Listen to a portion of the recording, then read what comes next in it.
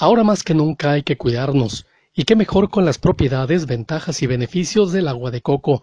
que además de fortalecer el sistema inmunológico, es deliciosa. Si el calor te está exigiendo hidratación, toma agua de coco, que también tiene una pulpa que normalmente se come fresca y sirve de ingredientes de dulces típicos como la cocada. En Ciudad Valles, si alguien tiene experiencia en el tema, es sin duda José Santos Ahumada, quien desde hace 27 años se dedica al negocio, establecido frente a la Glorieta Hidalgo y en compañía de su pareja durante 12 horas, entre 10 de la mañana y 10 de la noche, despacha al menos medio centenar de cocos diarios, sin importar la temporada del año. Con una habilidad sorprendente, los pela en cuestión de minutos hasta dejarlos completamente limpios,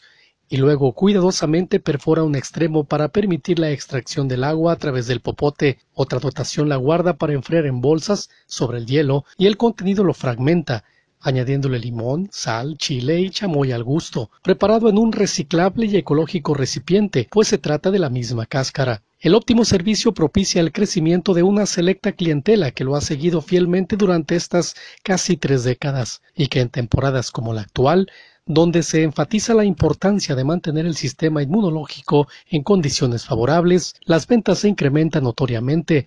lo mismo pasa cuando aumenta la incidencia del dengue. José Santos revela que ponerle interés, higiene y sobre todo calidad a la venta le ha permitido obtener para el estudio y la manutención de su familia, además de cubrir las necesidades elementales. Ha diversificado con el expendio de fruta, pero el 70% sigue siendo el coco y sus derivados en agua, tierno en rajas y la exquisita modalidad de crema de coco.